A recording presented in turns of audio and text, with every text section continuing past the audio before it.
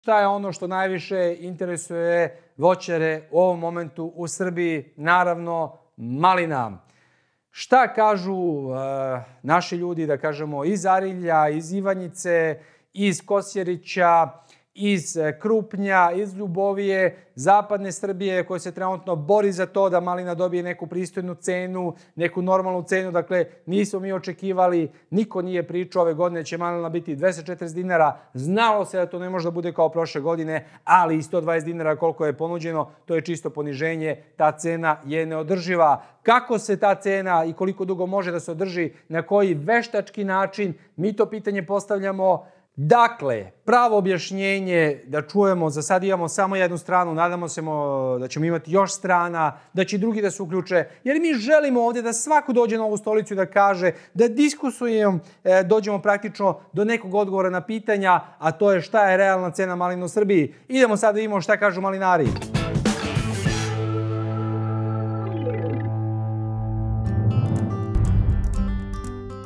Malina se bere, ali koliko još dugo nije izvesno. Juče su održani protesti na jugu i na zapadu Srbije zbog cene malina od 100 do 140 dinara, što je apsolutno nedovoljno kako ocenjuju malinari. Ono što tvrdi iz asocijacije malinara je da je u Valjevu održan sastanak na kome su bili predstavnici 64 hladnjača koji su jedni drugima dali menice koje, kako tvrde asocijaciji, mogu da se aktiviraju ako bilo koje od 64 hladnjače podigne cenu maline. Drugim rečima, hladnjače garantuju same sebi i ličnom imovinom napomenom da niko neće dizati cenu maline ove godine. Da li je to tačno? Šta kažu na to predstavnici hladnjača? Nismo uspeli da saznamo jer niko nije želao da dođe u studio i da objasni šta se dešava sa cenom maline i još gore sa cenom kupine čija berba tek sledi. Ovo je ujedno javni poziv i hladnjačarima da potpuno otvoreno dođu i kažu šta je prava istina po njihovom mišljenju vezano za malinu ove godine. Malinari s druge strane tvrde da je obaranje cenjena duplo manje u odnosu na prošlu godinu nerealno, tim pre što su svi veliki proizvođači Poljska, Čila, SAD pretrpeli štete. Dakle, maline nema, čak i regionalno Bosna je stradala od mrazeva i snegova. U svakom slučaju čeka nas vrela i prelomna nedelja. U najavi su protesti, blokade hladnjača i prekid berbe definitivno šta i kako će biti sa malinom u sezoni 2017. godine odlučuje se u narednih nedelju dana. Mi ćemo imati prve informacije koje ćemo objavljivati preko Facebook profila do sledeće emisije kada sledi detaljnije objašnjenje uz nadamo se goste i sa zapada, juga, mačve, naravno predstavnike hladnjača i predstavnike trgovaca.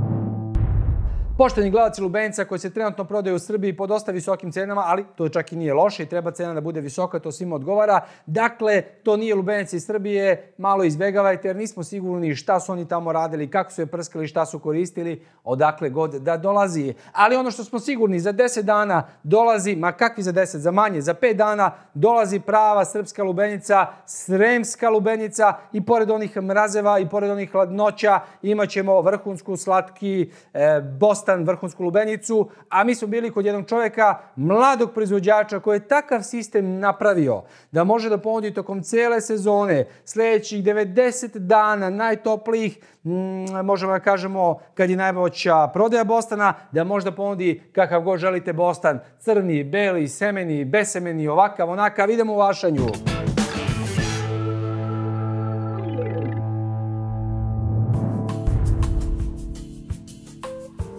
Sladak, zdrav, domaći Bostan, crne lubenice samo što nisu stigle, ali to je samo jedan deo priče porodice Vasić i Zašanje Srem, jer cela ideja kako se ovde rade lubenice to je da ih ima stalno, najranije moguće i da ih ima svih vrsta, semenih, besemenih, belih, crnih, šarenih, hibridnih, sortnih,